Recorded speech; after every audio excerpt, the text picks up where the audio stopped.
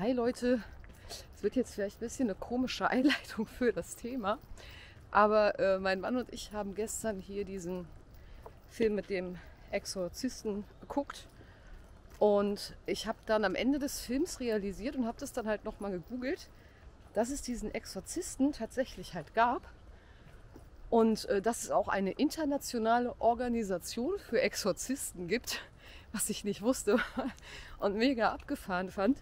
Und dann habe ich irgendwie noch mal so gedacht, ich finde das so faszinierend, diese Vielfalt des Lebens irgendwie. Es gibt halt einfach irgendwie alles auf dieser Welt. Und es gibt Dinge wahrscheinlich auch, die kann ich mir nicht mal vorstellen, weil das so in, in meiner Blase, in der ich lebe, so, so was Skurriles ist. Ich dachte dann so, ey, das ist so krass. Es gibt halt Exorzisten.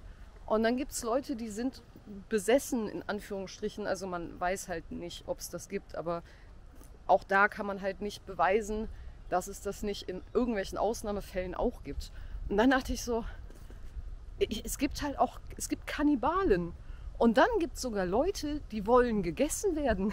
Wie abgefahren ist das denn? Und keine Ahnung, dann gibt es irgendwie halt, dann gibt es religiöse Leute in, in verschiedenen Richtungen. Und dann gibt es Satanisten. Und dann gibt es Serienkiller. Und, und Leute, die glauben, sie sind Jesus. Und was ich sagen will, es gibt halt so viele Dinge, verschiedene unterschiedliche Dinge und ich möchte das jetzt gar nicht kategorisieren halt in gut und böse. Darüber kann man halt diskutieren, ob es jetzt gut ist, dass es Serienkiller oder sowas gibt. Ne? Aber einfach vom Prinzip her ist diese Vielfalt des Lebens und der Dinge, die hier stattfinden, einfach, ich finde es total faszinierend. Das ist irgendwie super krass. Das spiegelt ja auch die Dualität dieser Welt wieder. Und irgendwie begreife ich langsam, wie cool das alles ist. Ich meine, ich fände es natürlich auch cool, in einer Welt der Glückseligkeit zu leben, wo es äh, all diese bösen Dinge halt nicht gibt, natürlich. Aber ich meine, ich lebe ja jetzt hier. Insofern gibt es das alles und das hat halt irgendwie auch was sehr, ähm, sehr Mystisches, weil es gibt ja auch viele Phänomene, die wir uns absolut nicht erklären können. Ich habe dann auch noch mal drüber nachgedacht mit den Pyramiden, dass man auch da nicht hundertprozentig beweisen kann, wie die entstanden sind. Und da gibt es irgendwie 50.000 Theorien zu. Und ich meine, das führt mich natürlich letztlich wieder an diesen Punkt von wegen, es gibt die eine Wahrheit nicht. Aber langsam fange ich an zu verstehen, auch wie, wie, wie cool das einfach ist, weil das so ein vielfältiges Potenzial einfach bildet auf dieser Welt. Und so vielfältige Möglichkeiten, diese Welt zu erleben. Und dann hatte ich auch natürlich nochmal an diese Non-Duality-Leute gedacht, die ja dann sich quasi so vom Denken her aus dieser Welt rausbeamen, so ins, ins Weltall und die gucken dann von da aus irgendeiner so göttlichen Perspektive, die sie da meinen zu sehen, auf die Welt und sind dann so, ja, es bedeutet halt alles nichts aus der absoluten Sicht und sowas. Und klar kann ich mich da reinversetzen und kann dann sagen, so, ja, natürlich für, keine Ahnung, für das Universum ist es jetzt nicht so wichtig, was hier auf der Erde passiert.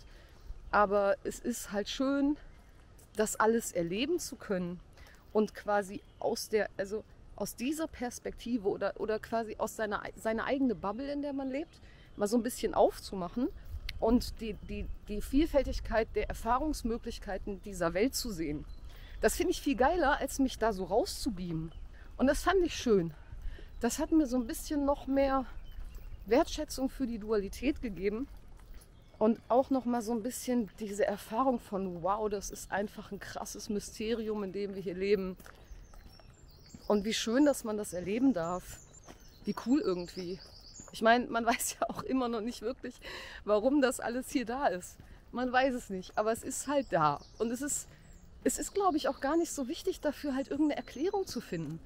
Und dann irgendwie zu sagen, keine Ahnung, das Bewusstsein ist die Quelle von allem und daraus ist das alles entstanden und das hier ist alles Maya oder das große Spiel des Göttlichen oder das ist alles nicht nötig, weil es reicht doch, es reicht halt dieses Universum in seiner Vielfältigkeit zu haben und zu erfahren, das allein ist schon einfach das, das ist halt so cool.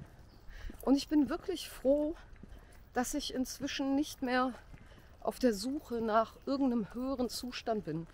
Ich meine, klar, hatte gestern ein schönes Gespräch. Dazu wird es später noch was geben, aber da ist mir auch nochmal so klar geworden, natürlich, wenn ich mich jetzt, ich mir jetzt aussuchen könnte, dass ich für immer in so einem Zustand leben könnte, den ich damals teilweise ähm, erlebt habe, klar, wäre das wäre super cool, warum nicht? Aber vielleicht ist es viel sinnvoller zu akzeptieren, dass wir als Menschen in der Dualität leben und somit duale Erfahrungen auch machen. Also halt verschiedene Zustände erleben und in, normalerweise eigentlich nicht dauerhaft in einem Zustand verbleiben können und dass das halt okay ist. Das ist okay. Und trotzdem können wir halt so schöne Zustände erleben und das ist ja dann schön und die kann man auch wertschätzen. Und man kann sicher auch was dafür tun, dass man häufiger sich in schönen Zuständen aufhält und das ist sicher eine, eine gute Sache. Aber ich bin froh, diese Erleuchtungserwartung, was heißt Erwartung, diese, diese Erleuchtungssucht, also oder diese Suche nach, die, dass, dass dieser Zustand dauerhaft bleiben muss, dass das einfach weg ist. Und dass ich einfach gerade so total begeistert bin von diesem Mysterium, was wir hier haben. Und von all den Dingen, die es gibt, auch wenn die grausam sind. Die gehören halt irgendwie scheinbar mit dazu. Und sind halt irgendwie auch faszinierend. Solange man nicht, keine Ahnung, auf dem Opfertisch von irgendwelchen Satanisten liegt oder äh, einen Exorzismus durchmachen muss oder so. Insofern habe ich heute echt einen schönen Tag in diesem weltlichen Mysterium. Ich hoffe, ihr auch. Ich hoffe, ihr verschwendet nicht eure Zeit damit, euch mit irgendwelchen Neo-Advaita-Gedanken auseinanderzusetzen und auf die Erleuchtung zu warten, sondern macht was Schönes. Und dann bis bald. Tschüss.